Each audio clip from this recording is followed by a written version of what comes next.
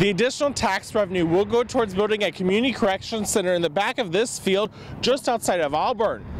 DeKalb County Council has yet to decide what the income tax rate will be because it's waiting from cities and towns in the county to determine if they're going to waive their additional funds or not for the project. I'm not sure if we'll give up the income for our residents. When a county income tax increase is approved, the money usually stays in the municipality where you live. DeKalb County Council is asking the towns in the county to waive the additional funds to reduce the burden for the community correction center that will be built on the county farm. Towns like Butler are considering only giving the county a portion of that fund.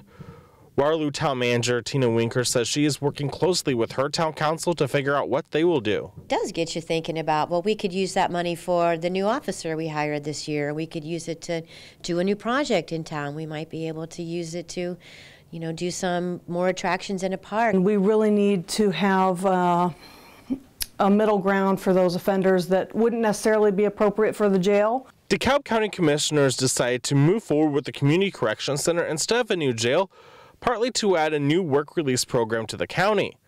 The DeKalb County Community Corrections Executive Director Kelly Nauer says that's because they're already cramped, which becomes a privacy issue. These ladies are on the phone, all of their conversations are being overheard by everybody in the offices. The DeKalb County Council will set the income tax rate increase sometime in April.